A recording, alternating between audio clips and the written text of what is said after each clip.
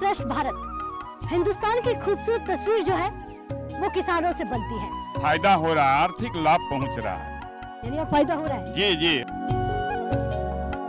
तो आसानी हो गई ये चीज़ों में? हाँ अब आसानी हो गया। हाँ। पहले उतना नहीं था अब हो गया।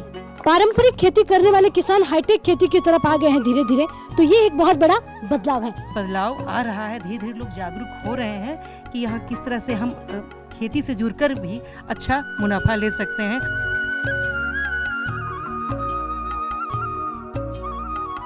बिहार से देखिए राष्ट्रीय बागवानी मिशन पर कार्यक्रम चौपाल चर्चा।